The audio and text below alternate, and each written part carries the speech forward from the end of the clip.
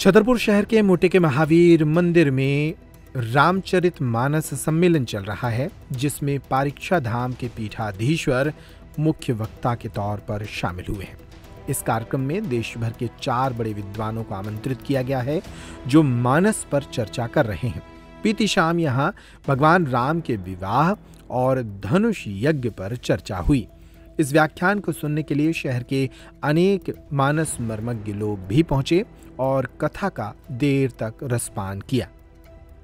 आयोजन के बारे में मोटी के महावीर मंदिर समिति के अध्यक्ष विनोद रावत ने जानकारी दी। श्री हनुमान जन्मोत्सव के उपलक्ष्य में यह उनचासवां वर्ष है, जिसके तारतम्य में श्री रामचरित मानस सम्मेलन का आयोजन प्रतिवर्ष किया जाता है।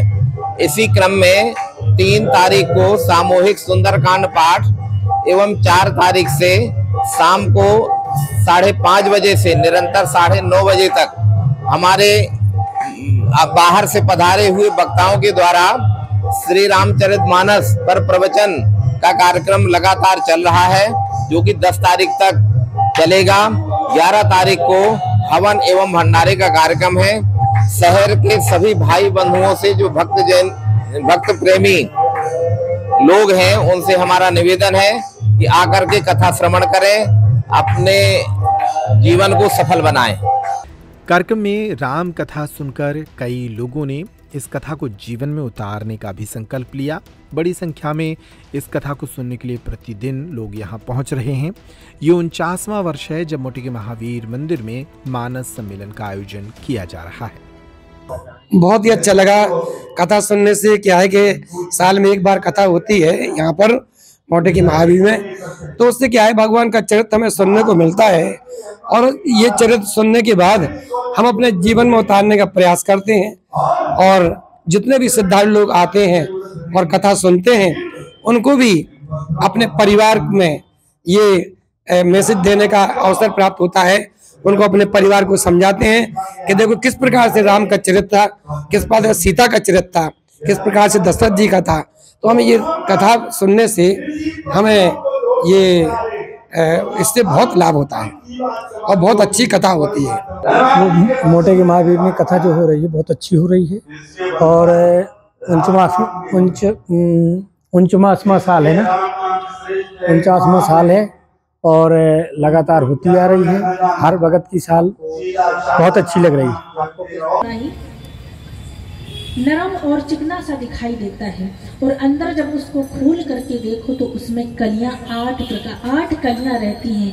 तो किसी सज्जन ने कहा कि जिसके अंदर आठ प्रकार के दोष हैं, वही मंथरा है।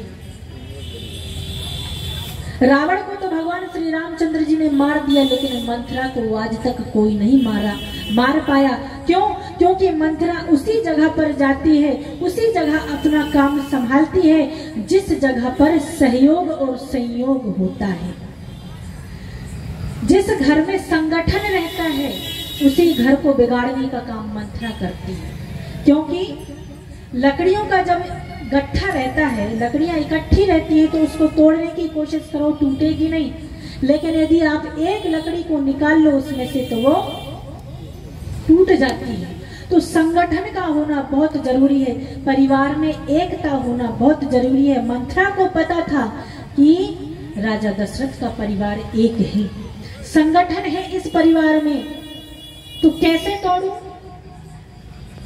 तो घर का मुखिया एक होता है ना, सारे तो मुखिया होते नहीं।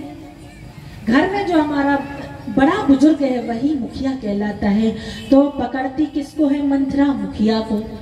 अब राजा दशरथ रानी कैकई को अधिक प्रेम करते थे, इसलिए मंथरा को ज्ञात था कि रानी कैकई इस घर की मुखिया है। यही मुखिया है तो कैकई को ही पकड़ना चाहिए।